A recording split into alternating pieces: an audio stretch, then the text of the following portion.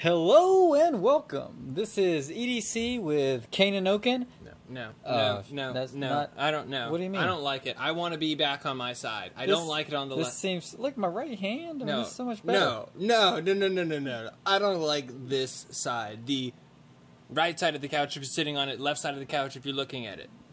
Oh. That's my side. With that book that I'm reading, Pride and Prejudice. All right, hold that Oh thought. yeah, hold on. Shuffle around there. Let's start over. All right. Welcome. This is EDC with Okan and Kane. I am Okan. And I'm Kane. And this is the living room in the normal fashion where I like to sit, where Kane likes to sit, where we like to do things. It feels more natural over here. I like it so much better. I'm more comfortable already. Now, I'm sure that you guys are not here uh, for that uh, silly gag, but you know we, we are. I had a great time. So we have a quick little overview about something that is uh, new to us. Well, new to Kane, um, but oh, really, really, really like this guy. You know, why don't, why don't, yeah, why don't you go ahead and All right. All what's that? So, what do we have here? right. Bomb. The Mm, Benchmade Mini Bug Out. Not the full size version. This is the mini. This started its life, as many do. Started its life. with a different scale obviously. This came in the white um, frn i guess uh, whatever plastic um, scale you want to call it. But came white scale um, coated blade and all black hardware as well as the black um, mini deep carry clip. This was switched out for the Flytanium brass scales nice stonewash finish and yeah S30V blade, absolute beauty. So yeah, I, I to to be honest was kind of uh, tossing between the uh, bug out and the Para Three lightweight. I ended up going for the uh, Para Three lightweight. Um, uh, but the bug out is undeniably uh, it's gotten a lot of attention for a lot of good reasons. Um, it is very lightweight, American made, a lot of good stuff to love here. But for me, I just can't resist putting brass or copper scales on these. I feel like it just begs for it, and especially on these uh, mini variations, because oh, that just has such a great feel to it. Oh, really, really, really do uh, love that little bit of of, of girth to it um, added by the scales there. So really, really, really love that. But I know what everybody's curious about. Why did you get a lightweight knife and destroy the lightweightedness of it? Um, you know, because we wanted to. That's exactly why. Because. because- Instagram is why. yeah, yeah, yeah. We did it for the gram, pretty much. Um, but um, yeah, real quick, uh, you know, talking about the added weight from the scales. Uh, let's let's do a, a weight on this guy. Uh, so first off, this started at 1.5 ounces uh, back when it had the FRN scales. Uh, go ahead and plop that little guy down. Oh, I broke the. Oh, di- oh my no, gosh, we're gonna have to reset that scale. That's wow. Good Zero. thing you hadn't opened your orange soda yet. Zero it out. Okay. Is that even going to work now that we've flip flopped it over? Nope. That it. I think I broke it.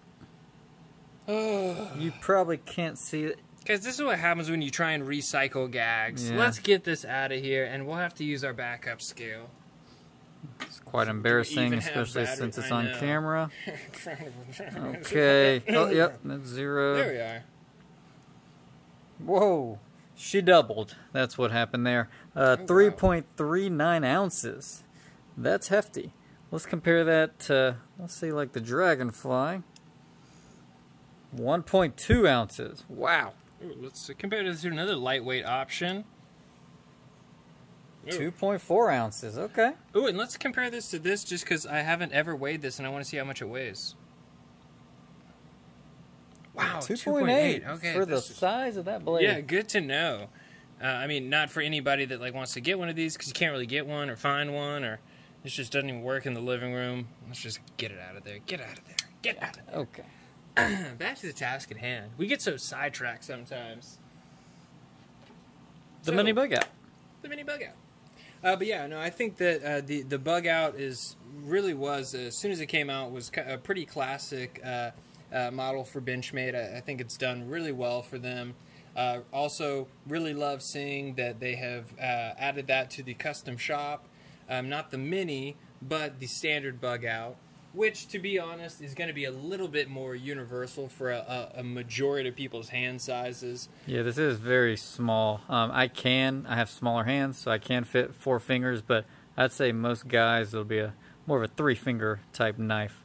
Uh, it might be a little bit too small for some, but really great option for the smaller hands in mm-hmm. the world. Mm-hmm. Yeah, I mean, as well as if you're wanting like a smaller option to, you know, uh, carry this with, you know, something a, a little bit bigger, like your uh, beautiful Chris Reeve uh, uh, there, or maybe if you wanted to pair it with, uh, you know, I don't know, your Spyderco military there. What else looks good with brass? Because I just started just started putting stuff next to brass. That doesn't look as good with brass, does it?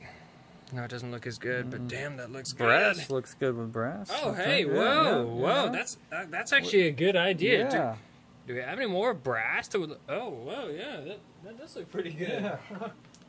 what else we got? That that actually looks really. Oh wow, there's a another Ruk that has got some brass. Mm, a little brass bead.